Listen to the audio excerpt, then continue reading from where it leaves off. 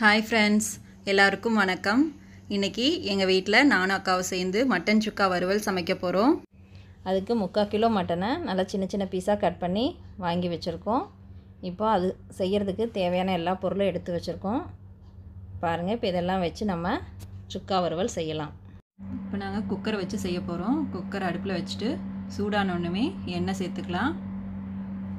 இது கூட தாளிக்க ஒரு பட்டை ரெண்டு ஏலக்காய் ரெண்டு கிராம்பு சேர்த்துக்கலாம். இதை ஒரு வதக்கு வதக்கிட்டு இது கூடவே சின்ன வெங்காயம் கொஞ்சமும் ஒரு பெரிய சைஸ் பெரிய வெங்காயம் கட் பண்ணி எடுத்து வச்சுருக்கோம். அதையும் சேர்த்து வதக்கி விட்டுக்கலாம்.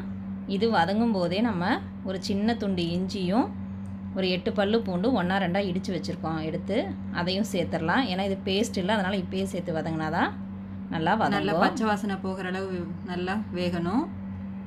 இது கூட ரெண்டு பச்சை மிளகாயும் கருவேப்பிலையும் சேர்த்து நல்லா பொன்னிறமாக ஆக வரலும். வதக்கி எடுத்துக்கலாம். பாருங்கள் இந்தளவுக்கு நல்லா வதங்கட்டும். இப்போ நம்ம இது கூட ரெண்டு மீடியம் சைஸ் தக்காளி கட் பண்ணி எடுத்து வச்சுருக்கேன். அதையும் சேர்த்து வதக்கிக்கலாம். இப்போ இது வதங்கிறதுக்கு கொஞ்சம் தேவையான அளவு உப்பு சேர்த்துக்கலாம். உப்பு சேர்த்து வதங்கினா தக்காளி சீக்கிரம் வதங்கிடும் அதுக்காக. நல்லா வதக்கி விட்டுடலாம் பாருங்கள் இப்போ நல்லா வதங்கிருச்சு. இப்போ நம்ம மட்டனை சேர்த்துக்கலாம்.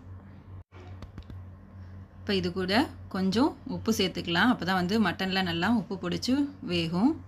ஒரு அஞ்சு நிமிஷம் நல்லா வேகட்டும். அப்போ தான் வந்து சுருண்டு வரும். அதுக்கப்புறம் நம்ம மசால் பொடியெல்லாம் சேர்த்துட்டு மறுபடியும் வேக விடலாம். இப்போ ஒரு அஞ்சு நிமிஷம் கழித்து பாருங்கள் நல்லா சுருண்டுருச்சு. இப்போ நம்ம எல்லா மசால் பொடியும் சேர்த்துக்கலாம். ஒரு அரை டேபிள் ஸ்பூன் கரம் மசாலா. ஒரு டேபிள் ஸ்பூன் தனி மிளகாத்தூள் ரெண்டு டேபிள் ஸ்பூன் அளவுக்கு மல்லித்தூள் சேர்த்துக்கலாம். அரை டேபிள் ஸ்பூன் அளவுக்கு மஞ்சத்தூள்.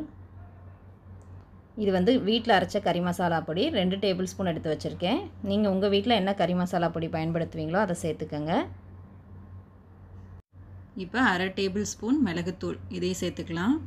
இது எல்லாத்தையும் போட்டுட்டு நல்லா கலந்து விட்டுக்கலாம்.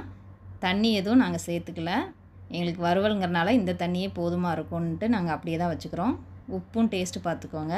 சப்போஸ் உங்களுக்கு தண்ணி ரொம்ப ட்ரையாக இருக்குது அடி பிடிச்சிக்கிற மாதிரி இருந்தால் கொஞ்சமாக தண்ணி சேர்த்துக்கோங்க. இப்போ இனி குக்கரை மூடி ஒரு நாலு விசில் விடலாம். இப்போ பாருங்கள் சூப்பரான சுக்கா வறுவல் ரெடி ஆயிடுச்சு. நீ நல்லா டேஸ்ட்டாக இருக்கும் இந்த மாதிரி செஞ்சால் நீங்களும் ட்ரை பண்ணி பாருங்கள் இப்போ இதில் மல்லி இலை தூவிட்டு நம்ம சர்வ் பண்ணிக்கலாம்.